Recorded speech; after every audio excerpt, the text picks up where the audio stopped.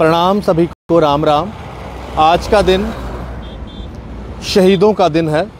आज के दिन एक बहुत बड़ी शहादत हुई थी, जब हमारे सीआरपीएफ के जवानों के ऊपर आज के दिन हमला किया था इन कायर पाकिस्तानी आतंकवादियों ने। आज 14 फरवरी है।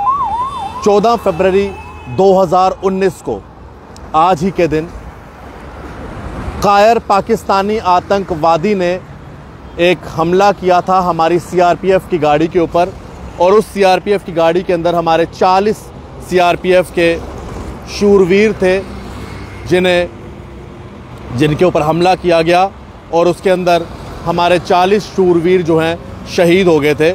मैं आपको बता दूँ, इसके अंदर एक आतंकवादी आदिल अहमद डार पुलवामा का ही रहने वाला इस आतंकवादी ने एक गाड़ी बारूद से भरी हुई जाकर टकराई थी हमारी सीआरपीएफ की कॉन्वाई की गाड़ी के साथ और उसमें एक बड़ा ही नुकसान हुआ था हमारे हमारे देश का नुकसान हुआ था, हमारे भारत का नुकसान हुआ था और आज के दिन इन दहशत गर्दों ने एक बड़ा आतंकी हमला किया था। जैश मोहम्मद आतंकवादी गुट द्वारा ये आज के दिन इस, आज के इसी दिन जो है आतंकवादियों ने हमारी सीआरपीएफ के ऊपर हमला किया था। आज का दिन जो है शहीदों का दिन है। आज के दिन जो है हमारे शहीदों को याद करने का दिन है। जिस दिन हम लोग अपने शहीदों को याद करते हैं। मैं आपको ये बता दूँ कि बड़ा ही दुखद समाचार आया था। मुझे आज भी याद है। आज ही के दिन दोपहर का समय था और जब इस तरह की खबर आई तो हम लोग एक खबर के ऊपर ही थे तो उसी टाइम हमें ये खबर बतानी पड़ी थी। इतना दुख हुआ था जिस समय हमने ये खबर बताई थी। और पहले तो पता चला था कि आठ से नौ हमारे जवान शहीद हुए हैं। फिर वो आंकड़ा बढ़ता गया, क्योंकि पूरी की पूरी बस ही इस कायर पाकिस्तानियों ने जो है उड़ा दी थी।